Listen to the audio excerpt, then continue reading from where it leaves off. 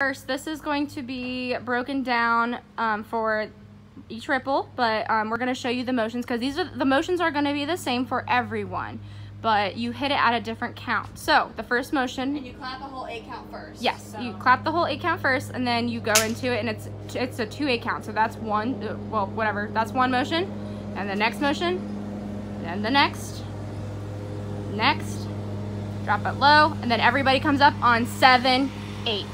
Dun, dun, dun, go. Cavs, go. Okay, so now we'll show you ripple one, two, and three real quick.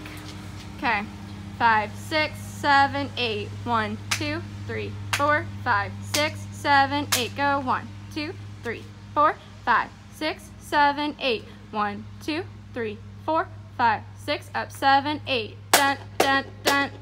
Go. Cavs, go. Okay, then you just repeat that one again. Do we clap an eight count? Yep, so you clap the eight count, and then this is ripple two now.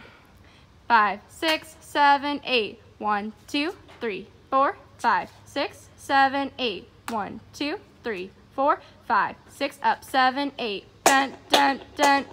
Go, Cavs, go. All right, now ripple three. So you, you clap that eight count again.